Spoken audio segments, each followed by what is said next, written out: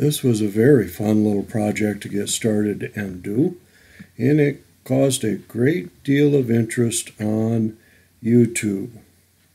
A steady watcher has asked for more detail, and I will be providing it here with stills, uh, maybe even little video clips. So thank you very much.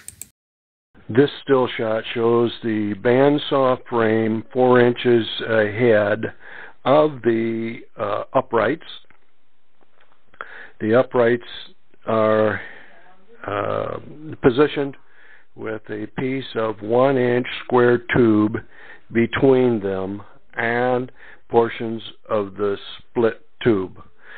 So uh, it gives you a little idea what I did there. Um, the motor obviously is set behind the upright tubes, uh, about 90% or maybe a little more. It helps to even out the weight distribution. That's it. Nothing special. This still depicts the two channel irons I'm using. One of them is two inches wide, probably three quarter inch deep. It's the reddish colored one on the bottom. The upper one is approximately three inches by inch and a half. It is bolted to the upper wheel frame of the bandsaw uh, to be seen again very soon. That it's a bare frame. Um, you can see the nuts in this shot. On the right hand side behind the silver pulley you can see just see both nuts uh, how that C channel is fastened in there. On the other side, behind the black pulley, you can also see two silver nuts, and those were a plate that was about three inches thick, three, excuse me, three eighths of an inch thick, and uh, it's bolted to the bottom frame. Not only is it bolted to the bottom frame, but the heads of the bolts are welded to that plate because I would not be able to get to them later on. The plate is welded to the 2 inch by 3 quarter inch C channel and spaced so that the uh, spacing is square to the track. You will also see in this bare bones photo that uh, I have placed down a piece of aluminum old screen door, storm door, underneath of the uh, two pulleys that will carry the bandsaw blade.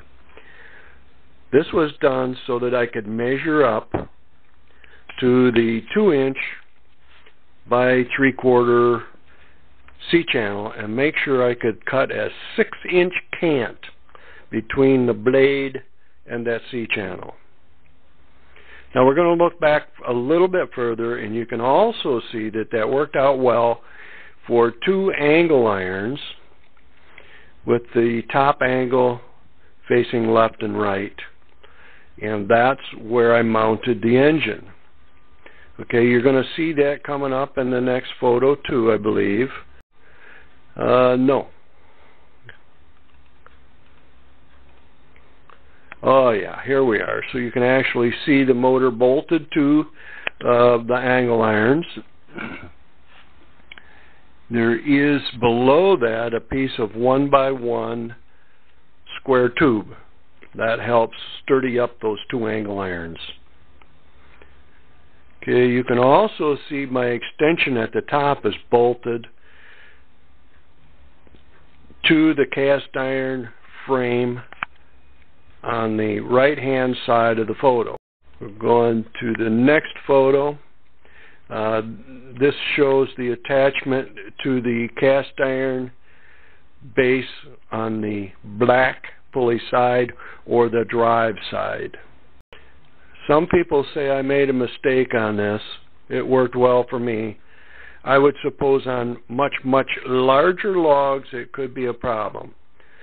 But uh, in this particular case, the blade is pushed through the log rather than pulled through the log. Okay, another shot of the uh, motor mount, and here you can see on the left-hand side of the extension where it is bolted to the uh, cast iron frame. That extension, by the way, is 12 inches. I did that because it was easy to figure, just just for me, and it worked out well. It gave me a 19-inch throat. A 19-inch throat will cut a 20-inch log easily. Okay, the next photo just shows the split square tube running up and down the square tube uprights. Square tube uprights, I believe, are 2 inch. The split square tube is, I believe, two and a half with quarter inch walls. And I did whatever I needed to do to make a spacer and keep it fairly close so it could still slide but it took up some of the slop.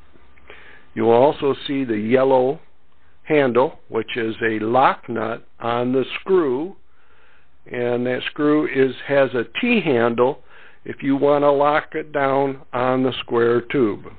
It goes in on an angle and it fits on the cor corner of the two inch square tube the reason for that is you don't want to rough up that tube if you're trying to slide it up and down.